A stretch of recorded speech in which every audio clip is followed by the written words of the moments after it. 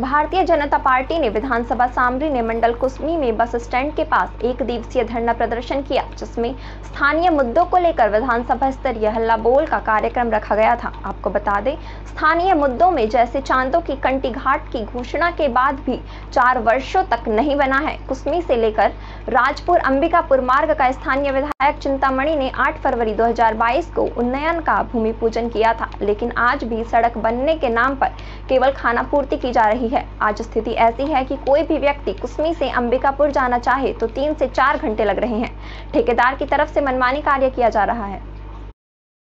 Bharatiya Janata party के द्वारा विधानसभा स्तरीय का जो धरना प्रदर्शन एक दिवसीय था, वास्तव में चांदो से लेकर कुसमी आप सभी लोग भी जाते होंगे, यहाँ के आम नागरिक लोग भी जाते आते हैं। इतना खराब सड़क है, उसको लेकर पूर्व में भी कई बार जिला प्रशासन को और जनप्रतिनिधियों को आवेदन दिया गया था।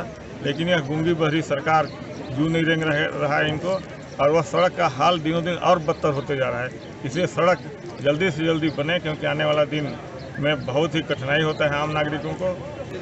उन्नीस सौ छियानवे से हिंडाल्को कंपनी यहाँ पर बाक्साइड उत्खनन का कार्य कर रही है, लेकिन स्थानीय बेरोजगारों को हमेशा से उन्होंने दरकिनार किया है। लगभग हमारे यहाँ 500 से ऐसे लोग हैं जिन्होंने रोज़गार के लिए आवेदन हिंडाल्को में किया किया है।